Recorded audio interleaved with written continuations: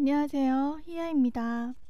이번 시간은 텀블러 파우치의 디자인을 확인하고 클래스에서 배우시는 내용에 대해 알아봅니다.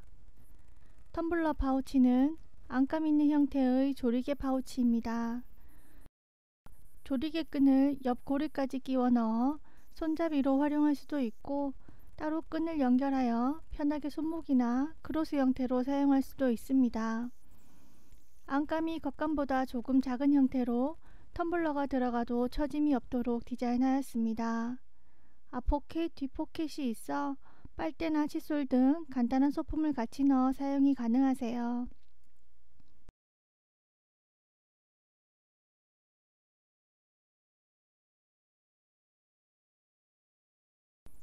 이번 클래스를 통해 배우시는 내용은 안감 있는 파우치 만드는 방법, 옆고리 만드는 방법,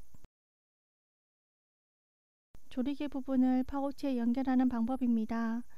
영상을 보시면서 천천히 같이 만들어 볼게요. 오늘은 텀블러 파우치의 디자인과 클래스에서 배우시게 되는 내용에 대해 알아보았습니다. 다음 시간은 텀블러 파우치의 재료를 확인하고 재단을 하도록 하겠습니다.